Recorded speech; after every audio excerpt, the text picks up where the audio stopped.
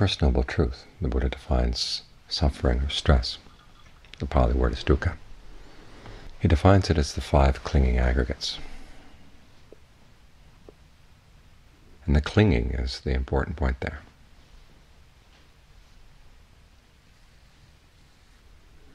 The suffering that eats into the heart is made up of those five things. Clinging to form, clinging to feelings, clinging to perceptions or mental labels, clinging to thought constructs, clinging to consciousness or cognizance.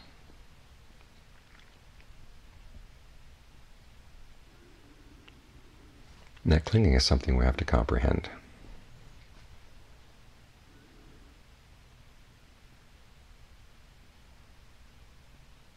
It's important to keep in mind the duties that go with each of those noble truths, because all too often we get our duties mixed up.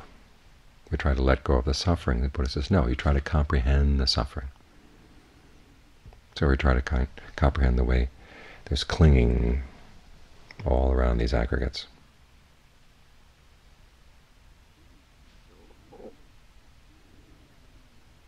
So what the Buddha has you do instead of just letting go, he says, learn how to cling in skillful ways. That's what the path is. You take those aggregates and you hold on to them in a different way, instead of clinging to them as or for the sake of sensual desire, clinging to them in terms of rituals, clinging to them in terms of unskillful views in and of themselves, or clinging to them as self. You learn how to hold on to them as a path. And in holding on to them as a path, you're in a much better position to comprehend them, to comprehend both the aggregates and the clinging.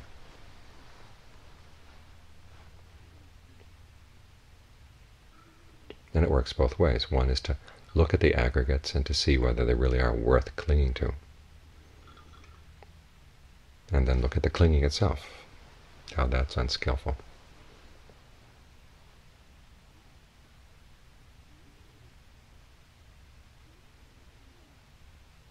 So this is where the teachings on skillful and unskillful behavior come in. As I say, suggested there, there is a skillful way of holding on to these things.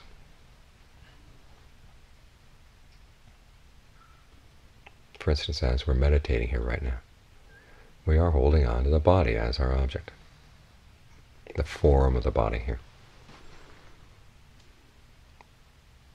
We're trying to breathe in ways that give rise to pleasant feelings.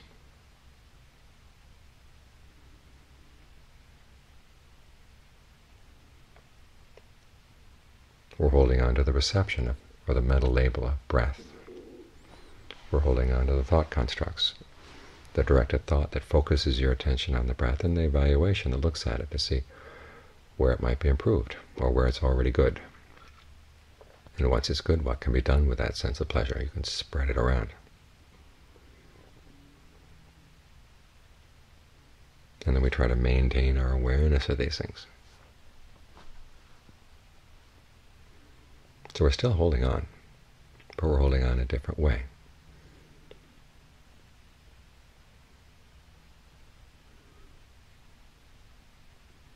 Because when you hold on to the aggregates in this way, you can look at them in and of themselves.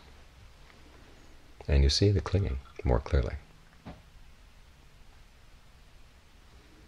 The reason you can look at them is because it's a lot more quiet than holding on to these things as yourself, say or holding on to them out of sensual desire.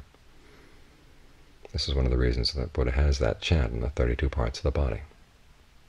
As you contemplate the 32 parts, back in his day, actually in the canon it's 31 parts. The brain got added in the commentaries.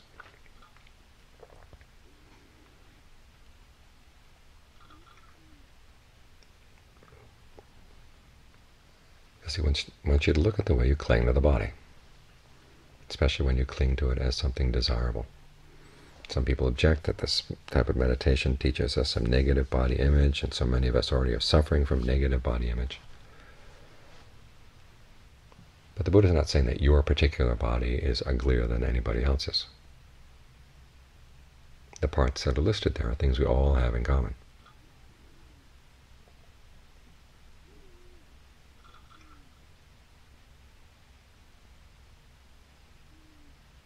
There's no competition for Miss Liver of 2006, Miss Kidneys. We're all equal. The purpose of this is to get us to stop and look at our own attachment, because even if we don't think we're pretty enough or good-looking enough, still we're awfully attached to the body, and a fair amount of that attachment is sensual.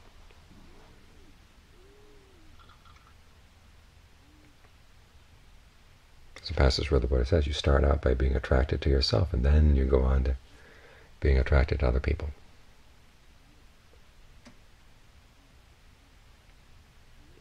So you've got to look at it. Learn how to look at the body in such a way that you can get out of that mode. Can find it easier to get into the mode of simply using the body as a vehicle for the practice. It becomes your object of meditation, simply for the purpose of concentration.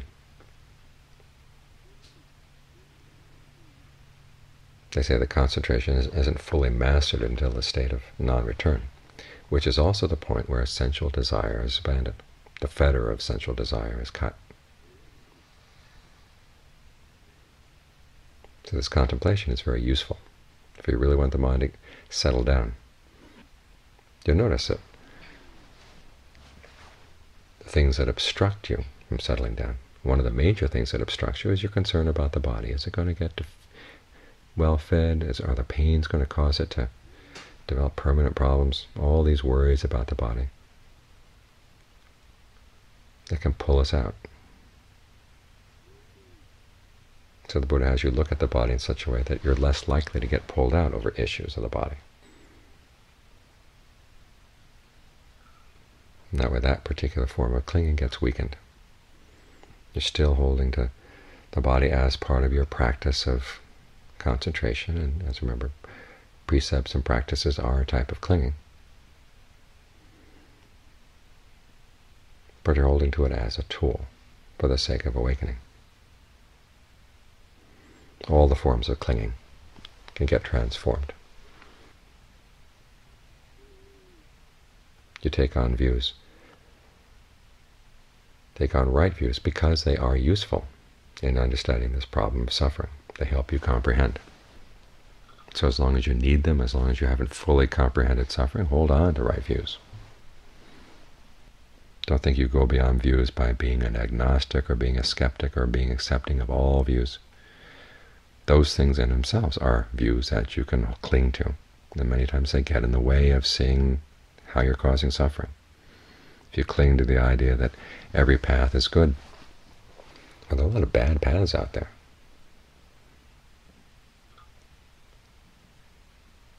that old idea that all paths lead to the top of the mountain. They don't. I don't know any mountain in the world where all the paths on the mountain lead to the top.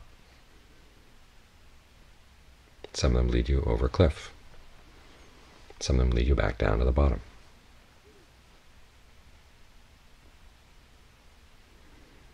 And the Buddha has you hold on to right views because they're useful, they're tools.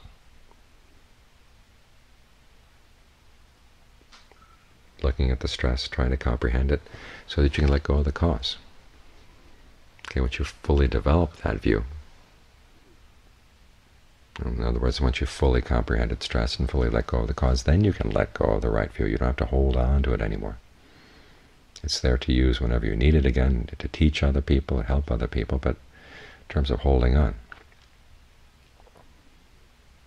you hold on only as you're using it as a tool. The same with views about the self. That's another type of clinging.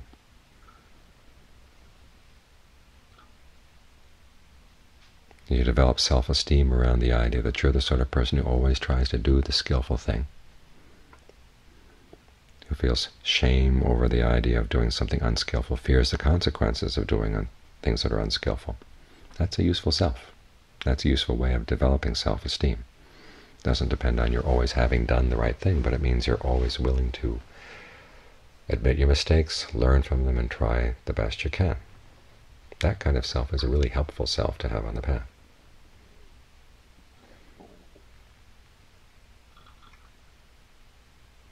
As the Buddha points, excuse me, it's Ananda points out in one of the discourses that even conceit This idea of I am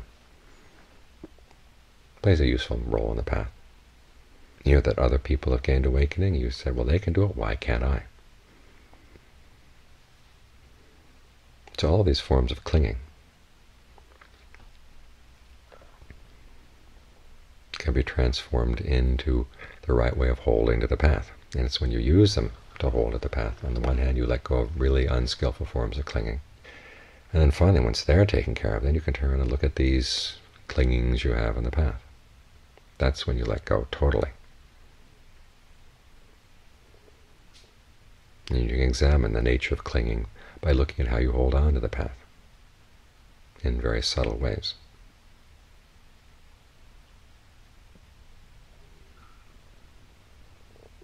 And you let go of the clinging because you comprehended it. You've been able to watch it in action. And you can learn how to see that even skillful things ultimately have to be let go.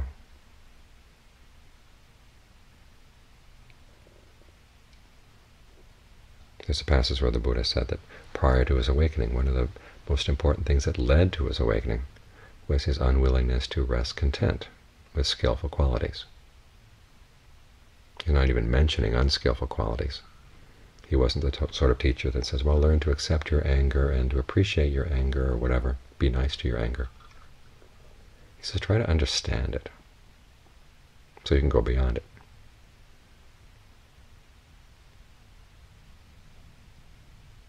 Develop skillful qualities, but once you've developed them, don't rest content.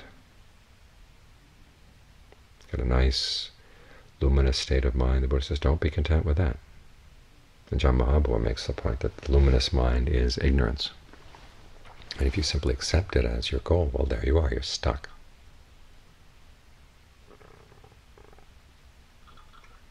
Can't rest content even with that.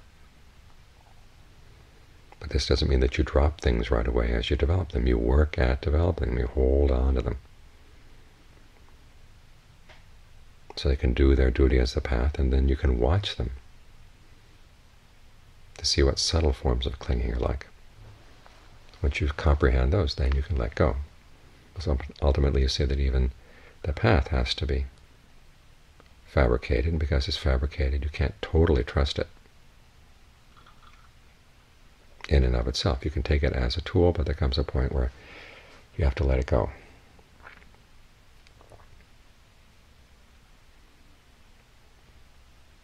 And your craving for the path then becomes, turns into dispassion.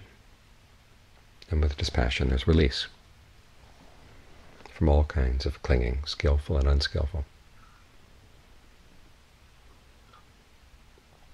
So remember this point, clinging is there to be understood, and you're going to understand it by turning it into the way you hold on to the path. Do the work of the path and then watch it as it's working.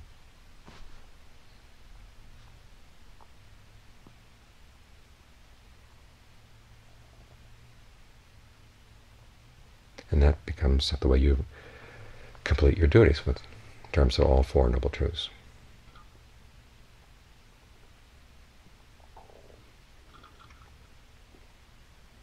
So as you're working here, remember that there are skills to be mastered. There are things to be held on to. Don't think that you're clever and say, well, I've done a little concentration, I know what it's like, I can let go of it now. If it hasn't done its work, you've got to hold on to it.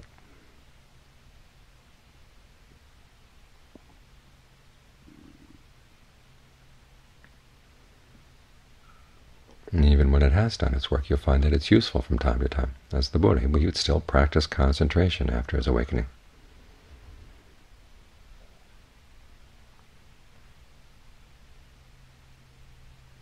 He still followed all the practices of the path, both because they were a pleasant abiding and because they were useful in his teaching career.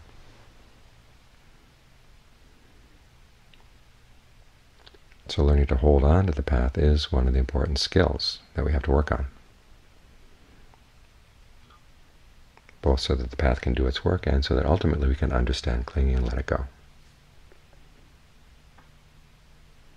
And once the stress and suffering of that First Noble Truth is done with, but then the stress of the aggregates the inherent part of the stress of the aggregates, that doesn't weigh on the mind anymore, because you're not dragging it in to burden the mind.